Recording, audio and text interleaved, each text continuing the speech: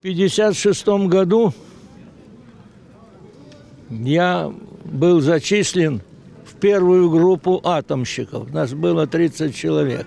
С тех пор прошло много лет, но помнится все, словно вчера это было. Сложное, но интересное занятие, строгая дисциплина, как и положено у военных, первая любовь и, конечно, друзья, плечом к плечу и в горе, и в радости. Преподавателей тоже не забыть, учились у лучших бойцов, прошедших войну, героев Советского Союза. Долгополов преподавал вспомогательные механизмы. Э, Аладжанов преподавал историю военно-морского искусства и боевые средства кораблей. Дальше. Руденко.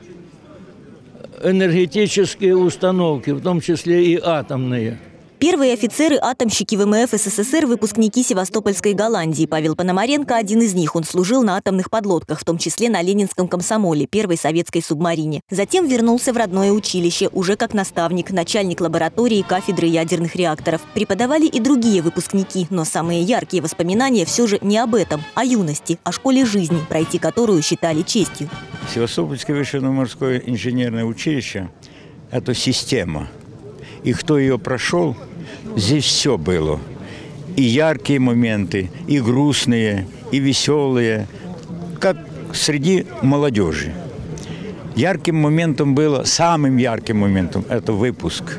Выпуск получения диплома, погону и кортика. В здании училища сейчас находится Институт ядерной энергии и промышленности СевГУ. Историю здесь по-прежнему помнят и хранят в музее, который так и называется «Севастопольская Голландия». Здесь и первый эскиз его разработал капитан Баумгартен, когда по приказу Николая II в Севастополе должны были возвести морской кадетский корпус. А вот наши современники, выпускники училища, два капитана Владимир Абанкин и Андрей Воскресенский. Оба погибли летом 2019-го во время трагедии в Баренцевом море. Музеем руководит Николай Филимонов. Сам он в 75 году году выпускался, после служил на Северном флоте. Будучи на корабельной практике в различные года, был и на дизельных подводных лодках, на атомных подводных лодках.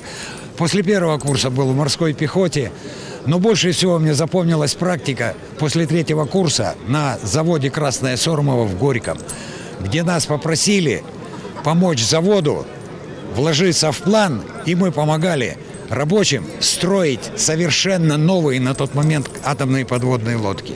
В юбилей училища выпускники разных лет в едином строю улыбаются, вспоминают и, самое главное, принимают поздравления.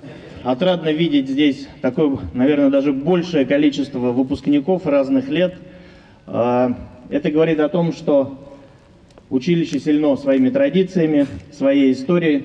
И, конечно, очень важно эту историю сохранять, приумножать. Вот эта честь, вот это мужество, оно перешло к нам.